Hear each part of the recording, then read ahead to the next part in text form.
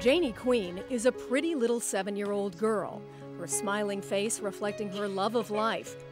Janie is full of energy and good health. Janie is also HIV positive.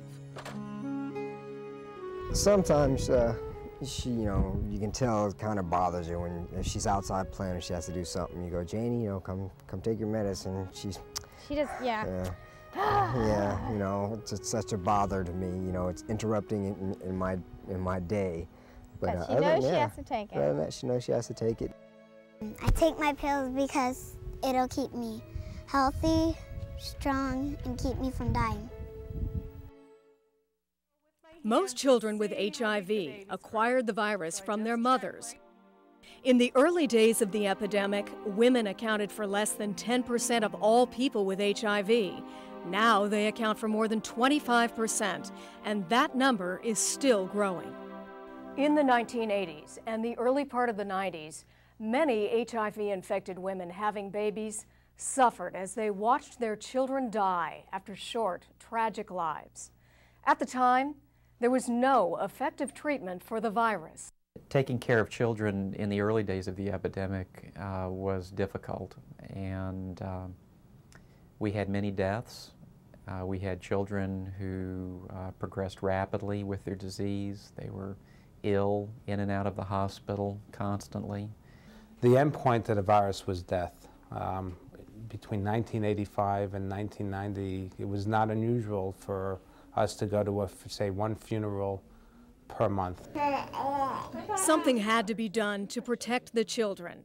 Dr. Catherine Wilfert is the scientific director of the Elizabeth Glaser Pediatric AIDS Foundation, an organization that funds research into pediatric AIDS. She was the first to propose giving the drug AZT to pregnant HIV infected mothers to block transmission of the virus to the child.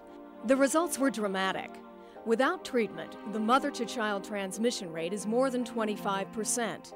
When mothers are given anti HIV drugs during their pregnancies, the transmission rate drops as low as 2%.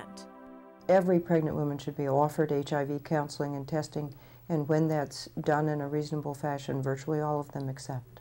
Hello, Angel. This child's mother first came to the pediatric HIV clinic at Duke University when she tried to donate blood and was rejected because of a positive HIV test. She took every medication doctors could give her. The current standard of care is a combination of anti HIV drugs for the mother, started as soon as possible after the 14th week of pregnancy.